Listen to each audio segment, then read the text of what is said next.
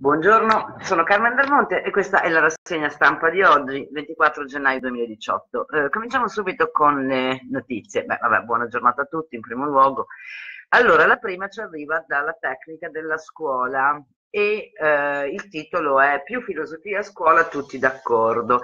Che cosa è successo? È successo che eh, ehm, ieri c'è stato il convegno eh, organizzato anche dal MIUR sull'orientamento per l'apprendimento della filosofia nella società della conoscenza ed è uscita una proposta, è stato presentato il documento per l'apprendimento della filosofia e, ehm, che cosa scrive? Dice sillabo di filosofia per competenze. Il documento sugli orientamenti ha come obiettivo, fra l'altro, proprio quello di portare l'insegnamento della filosofia con moduli extracurricolari anche negli istituti tecnici per consentire a tutte le studentesse e a tutti gli studenti delle scuole secondarie di secondo grado di sviluppare il proprio pensiero critico attraverso lo studio di questa disciplina. E il documento vuole dare inoltre ulteriore impulso alle, con, alle connessioni tra la filosofia e le altre materie di studio e tra la filosofia e le nuove metodologie di insegnamento. Le cose, il sillabo è stato redatto dal gruppo tecnico di scientifico di filosofia, eh, da cui fanno parte insomma, filosofi e professori e docenti universitari.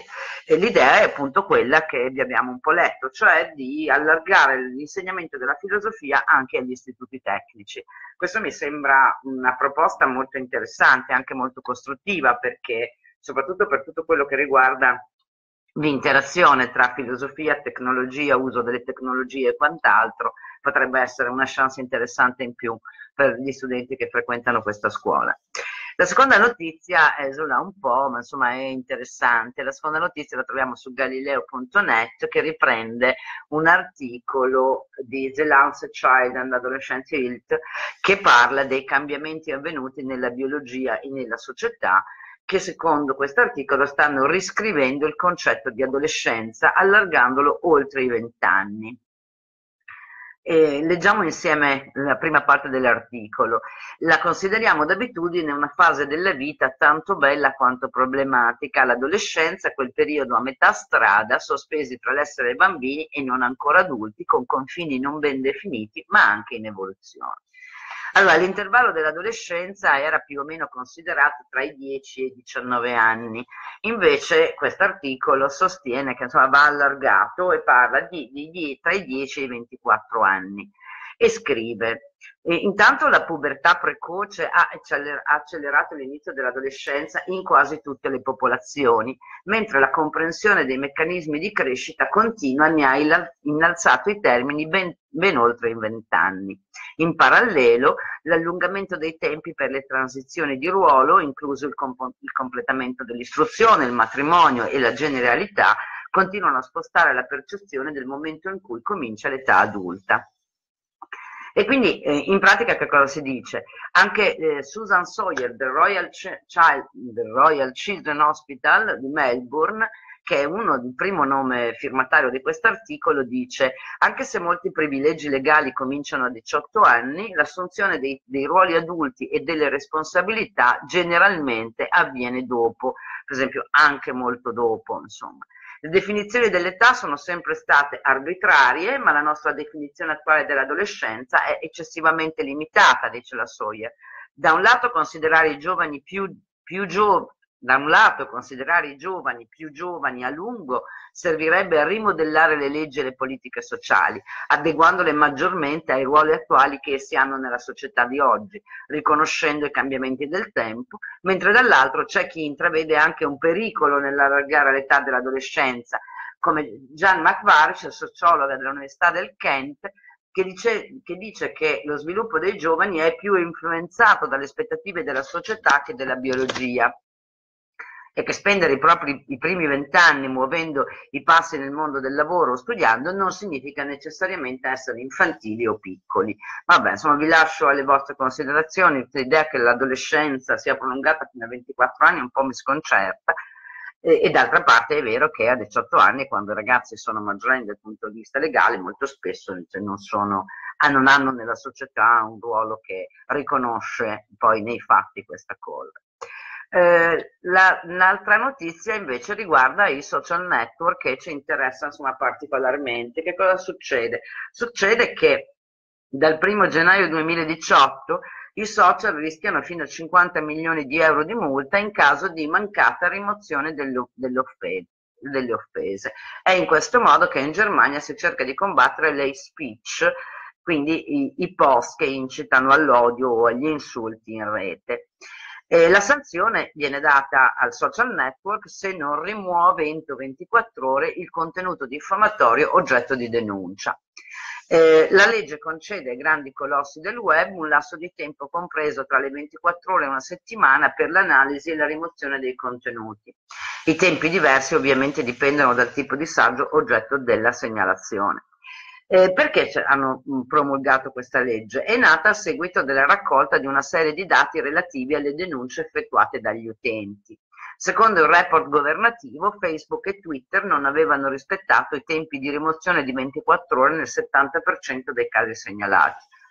Peraltro Facebook ha rimosso solo il 39% dei contenuti esaminati, come chiunque sa, chiunque abbia fatto una segnalazione, quindi una segnalazione su Facebook rispetto a un post o a un video che, che riteneva inopportuno quanto non uh, reato o quant'altro, Facebook molto spesso risponde che è stato esaminato ma non viola, non viola la policy del, del social.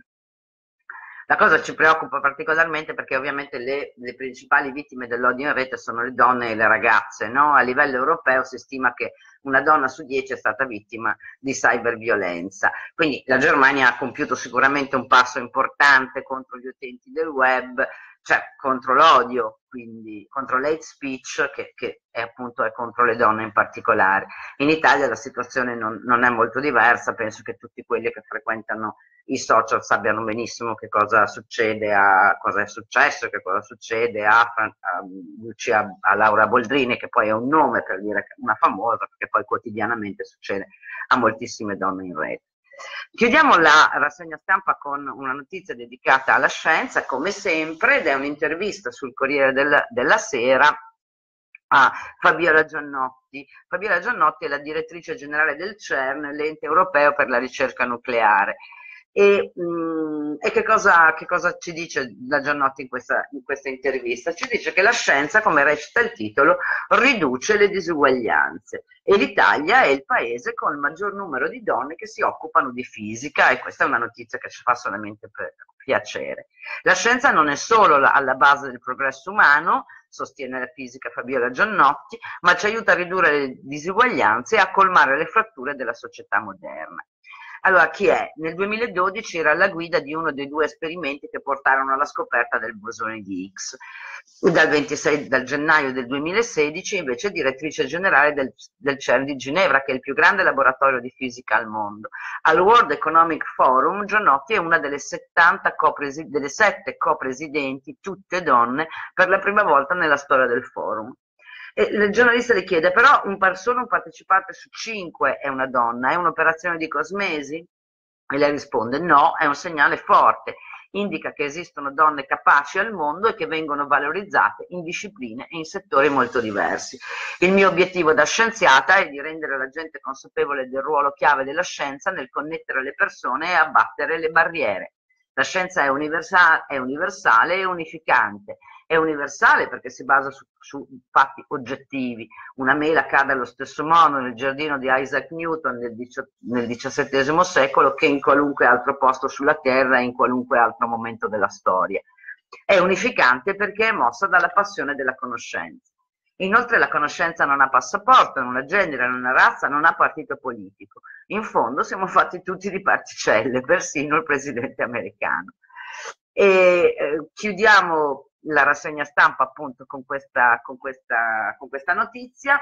Io vi ringrazio e questi giorni quasi tutti gli studenti dell'ultimo anno delle scuole superiori stanno girando per, i, per gli open day delle università, ce ne sono 20.000 in questo momento al Mandela eh, Forum a Firenze a guardare, a vedere quali sono tutte le, offerte delle università toscane per esempio, ma insomma anche tutte le altre e la mia raccomandazione per le ragazze è scegliete facoltà scientifiche, scegliete facoltà scientifiche, soprattutto le ragazze, scegliete facoltà scientifiche. Va bene, ci sentiamo domani con la rassegna stampa, buona giornata.